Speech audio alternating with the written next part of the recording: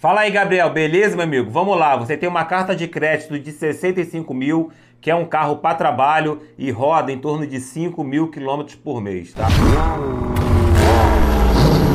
Enfim, os últimos 10 anos da minha vida eu passei trabalhando, viajando, também rodando entre 3.500 a 5 mil quilômetros por mês, com mais de 10 carros diferentes, tá? Então eu vou começar pelos carros que eu descartaria é, dessa lista, tá? Primeiro deles, Voyage. Trabalhar com Voyage em estrada, rodando todo dia, é ruim demais, é extremamente desconfortável. Chega na sexta-feira, o seu corpo está moído, tá? De cansaço. Então, o Voyage eu já descarto. É um bom carro, tem resistência, mas para uso do dia a dia é muito cansativo. Eu gostava de trabalhar, tá? Com Ford Ka. Porém, com esse monte de problema que está dando aí com a correia dentada banhada a óleo, enfim, eu também descartaria, porque vai que acontece com você, você vai ter um problema gigante na mão, tá? É bom para trabalhar? É bom. Esse 1.5 anda pra caramba, tem conforto, é ágil na estrada, porém eu descartaria por causa desse, desse problema com a correia dentada banhada a óleo. Da mesma forma, eu descartaria também o Onix. É, dos, dos, carros que eu trabalhei, o mais econômico foi o Onix. Tá? Eu trabalhei com o Onix manual de seis marchas. É muito econômico. Chegava a fazer 16, 17 quilômetros com litro de gasolina na, na estrada. Porém, essa correia aí, se arrebentar, o prejuízo é gigante, tá? Então, esses três carros, de cara, eu descartaria.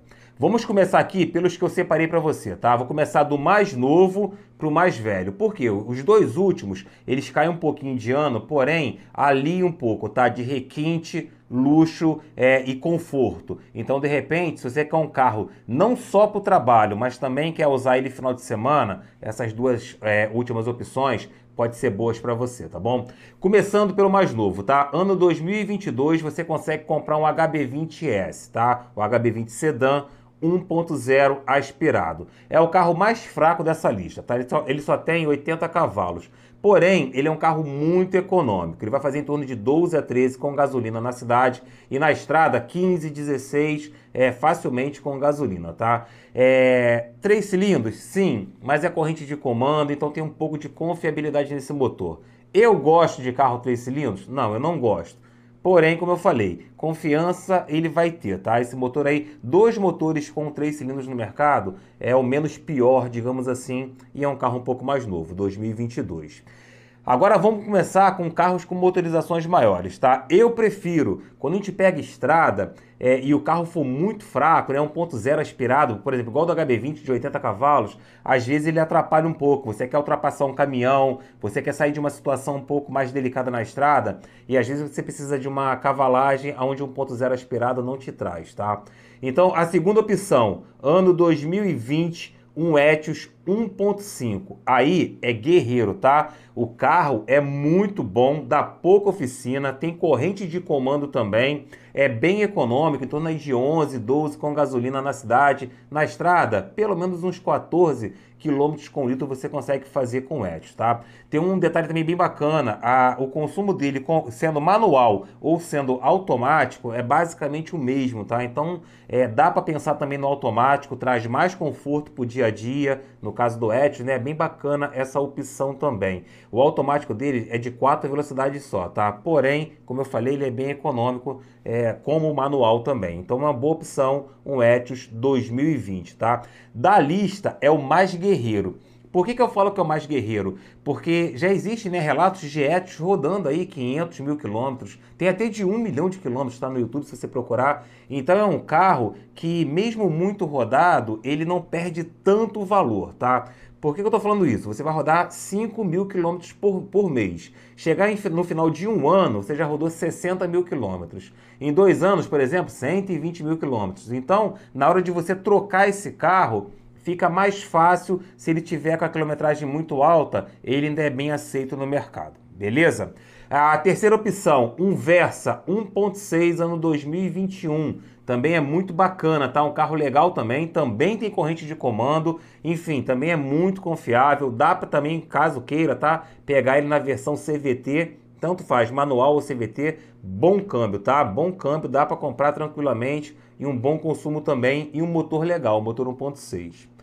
Depois do Versa, você pode pegar o Logan 2021 também. Carro muito bacana, tá? 1.6. Dos carros que eu trabalhei, o mais confortável, ou um dos mais confortáveis, foi o Logan, tá? Ele é uma espécie de barcona, né? Assim, vou falar bem a grosso modo, tá? Ele parece um pouco assim um Sentra, né? Um, um Corolla, claro que com as suas limitações de um carro mais simples, mas ele é maior por dentro, sabe? Você tem bem, bastante conforto com o Logan andando na estrada, um bom banco, um carro que ele é mais molengão, mas ele não perde estabilidade não, tá? Mas ele é bem confortável para trabalhar no dia a dia, motorização também 1.6, ano 2021 também tá, tá vendo? Pegando carros é um pouco mais novos, tá? Dá para ser também o câmbio automático dele. No caso é um CVT, tá? Desse ano aí, não é aquele câmbio é, problemático de quatro marchas que veio derivado da, da Peugeot não, tá? 2020, 2021 já é o câmbio CVT e é bem bacana também.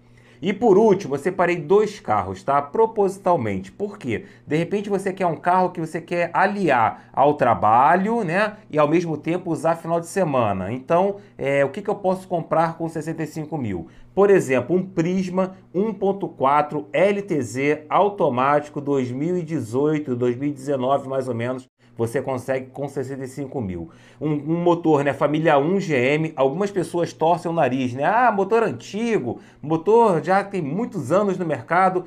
Eu já olho com um lado positivo por isso. Por quê? Primeiro, todo mundo conhece, sabe da resistência que tem esse motor, é barato de manter, é muito tranquilo essa mecânica, tá bom? Esse câmbio é um GF6, muito bom também, um automático de 6 é, marchas, né, com conversor de torque. Também tem, claro, né, o Prisma com câmbio manual, caso prefira. Mas enfim, um carro com muitos acessórios, no caso do LTZ, tá? Bem completinho, bem confortável e um ótimo consumo também, tá? Ele é igual do HB20 1.0 aspirado, por exemplo, né? Só que aí você tem 106 cavalos é, com consumo de HB20 1.0 aspirado, em torno de 12, 13 com gasolina na cidade. Na estrada você vai fazer facilmente aí 14, 15, 16. Se o pé for levinho, faz até um pouco mais com gasolina. É uma boa opção, tá? Um carro um pouco mais estreitinho mas muito completo e muito bonito para o uso do dia a dia e o uso final de semana.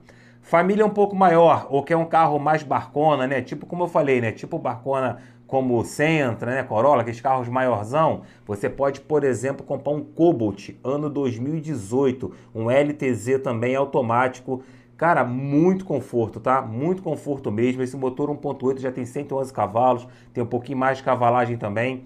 Você pode reparar que tem muito taxista, né, muito motorista de aplicativo que compra o Cobalt. Por quê? Um carro barato de manter, um carro extremamente confortável. Então, é, vai naquele de encontro que eu falei no começo, né? Você tem que ter um carro confortável para você chegar no final de semana, não tá com o corpo todo dolorido de ficar o dia inteiro dirigindo. E o Cobalt é uma boa opção também.